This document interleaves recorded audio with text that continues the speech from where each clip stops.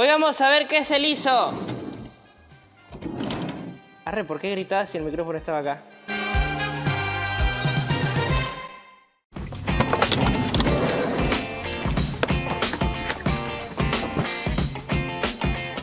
ISO, del griego igualar, siglas de International Organization for Standardization. Bueno, la historia del ISO eh, resulta así. En el pasado, los fabricantes de cámaras hacían los carretes, que bueno, así eran las cámaras antes, y para homogenizar o para igualar la sensibilidad que tenían estos carretes a la luz, inventaron o hicieron el ISO. Ahora, eso era la fotografía analógica. Hoy en día la fotografía digital no sigue los estándares de la industria del ISO, tal cual como lo hacía en aquel entonces la fotografía analógica, pero sí nos quedamos con el nombre de ISO.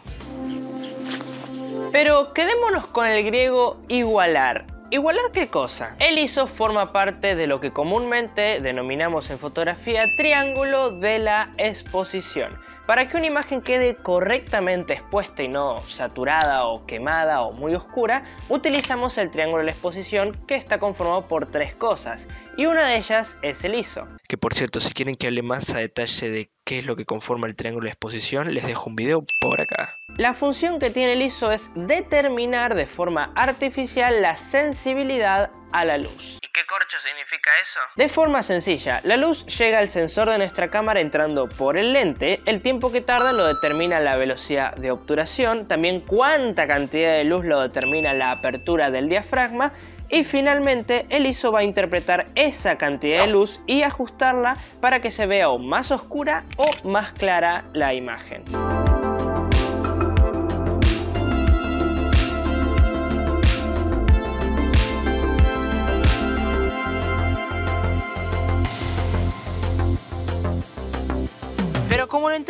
Artificialmente, esa gran cantidad de luz que vemos no es natural, es más bien artificial. ¿Por qué nuestro cerebro en situaciones de baja luz puede ver en Full HD sin que se genere ruido, pero las cámaras no? Porque nuestro cerebro cuando ve poca luz la interpreta de forma pues natural. Sin embargo el ISO lo interpreta de forma artificial y por eso en situaciones de baja luz se hace o se genera el famosísimo ruido. El ruido es algo así como unos puntitos que se ven en las zonas oscuras o en fotografías oscuras.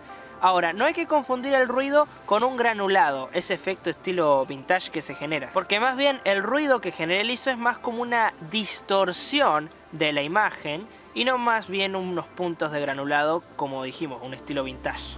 Bueno, definido entonces lo que es el ISO, ¿cómo hacemos para usarlo de la forma correcta? En nuestra cámara vamos a encontrar generalmente un botón dedicado únicamente al ISO, este por ejemplo en la Canon T5i es el que están viendo ahora en imagen, sin embargo lo podremos activar si utilizamos ciertos modos de nuestra cámara, por ejemplo y el más conocido, el que más usamos los fotógrafos y los videógrafos es el modo manual, pero si estamos por ejemplo en el modo AB, la cámara es la que va a determinar el ISO automáticamente. Un datazo es que en fotografía podemos extendernos un poco más en el ISO que en video, porque no es lo mismo capturar una sola imagen que capturar, por ejemplo, 60 imágenes por segundo o 24 o 30 imágenes por segundo. Y sin embargo el ISO tiene un punto bastante negativo que es el que lucha la mayoría de nosotros, que es el famoso ruido. Así que para que no se genere esta distorsión, por así llamarla, hay que aprender a usarlo correctamente a base del horario del día. A mí no me gusta mucho manipular el ISO, prefiero manipular cosas como el diafragma, la apertura, como la quiera llamar, y la velocidad de obturación que tocar el ISO en sí. Pero si no nos queda de otra, vamos a una pequeña guía para saber en qué horarios del día manipular el ISO. Plena luz del día, 80 o 100. Dentro de casa pueden usar un 200 o 400. 800 también puede ser. Atardecer 400, 800, hasta 1600 quizás. Y al anochecer, si subes más de 1600, dependiendo del sensor de la cámara, se va a generar ruido. Ojo al piojo con esto, hay cámaras full frame, principalmente las de Sony, que saben manejar muy, pero muy bien el ISO. Hay APS-Cs inclusive de Sony que al usar ISOs altos no generan ruido. Recuerdo cuando buscaba una cámara para comprar, una de mis opciones era la Sony A6000. La Sony A6000 y en realidad esa gama de Alpa, la A6000, la A6100, 6400, 6500, 6600 inclusive también, que es la mejor de todas, manejan un ISO increíble a pesar de que son APS-C. La full frame te permiten llegar a ISOs increíblemente altos sin que se genere ruido. Todo va a depender de tu cámara, así que un ejercicio bueno es que te pongas a sacar fotografías a diferentes ISOs y después analices cada fotografía. Cuando veas cuándo se está empezando a generar un ruido, bueno, ahí ya sabes que ese es el tope que tu cámara o el sensor de tu cámara va a poder aguantar.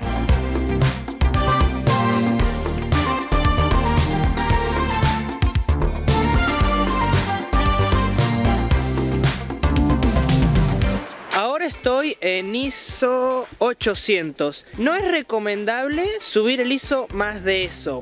¿Por qué? En fotografía sí te puedes extender un poquito más en cuestión de subir el ISO y demás, porque por ejemplo herramientas como en Lightroom o en Photoshop sí te permiten, digamos, ajustar las herramientas para que no salga tanto ruido, digamos, ¿no? Sin embargo, en video estás más limitado. En video no hay tantas herramientas por si se genera muchísimo ruido que a diferencia en fotografía.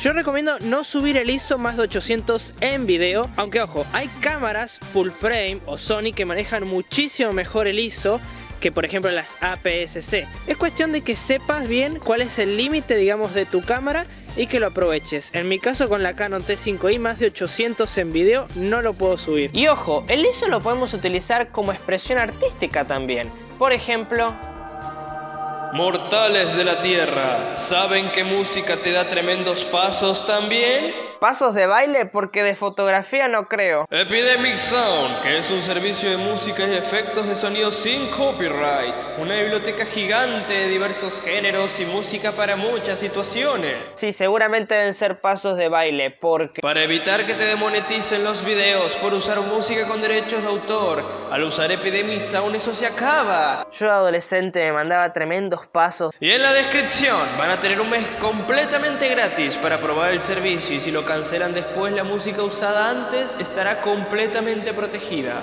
Usen Epidemic Sound. ¿Y qué tenía que ver esto con los pasos de fotografía? El ISO querido, no lo manipulemos tanto. Mejor manipulemos la velocidad de obturación, la apertura. El ISO no lo mueva, sin embargo es importante saber qué es. Como también es importante saber qué es la apertura, el diafragma también llamado, la velocidad de obturación y para eso te dejar unos videos por acá que te pueden servir y otro por acá acerca del triángulo de la exposición. Mi nombre es Marcos Pérez, gracias por ver este video, suscríbete y nos vemos mis queridísimos fotogénicos. Adiós. Uy, qué tarado, metí la negra, no te puedo creer.